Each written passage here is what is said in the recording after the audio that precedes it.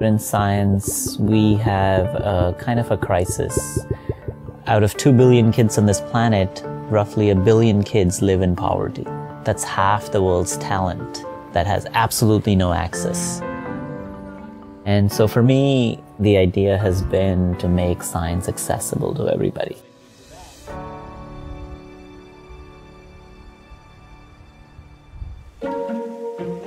My name is Manu Prakash.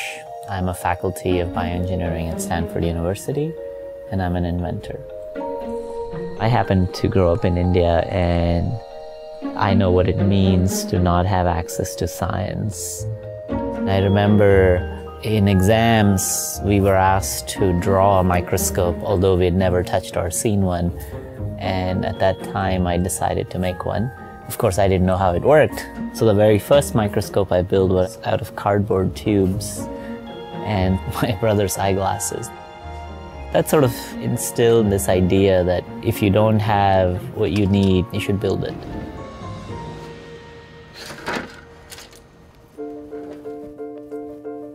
If you talk about environmental challenges, climate change, you talk about biodiversity loss, much of the challenges that we face in our society depend on understanding the microscopic world.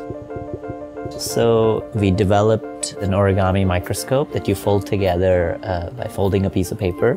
It cost us less than a dollar to build. It's portable, it weighs less than 10 grams, anybody can carry it in their pocket.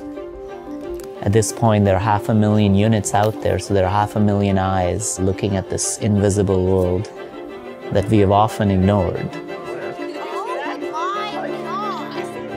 There are lots of people who have followed that work and built upon our work to actually take it in new directions that we'd never imagined.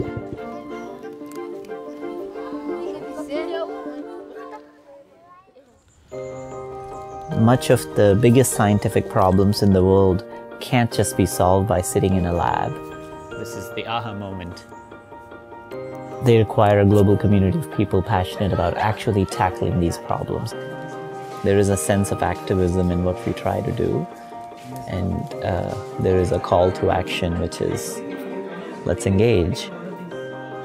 Tools will come and go, but it's these communities that we're trying to enable that will really stand the test of time.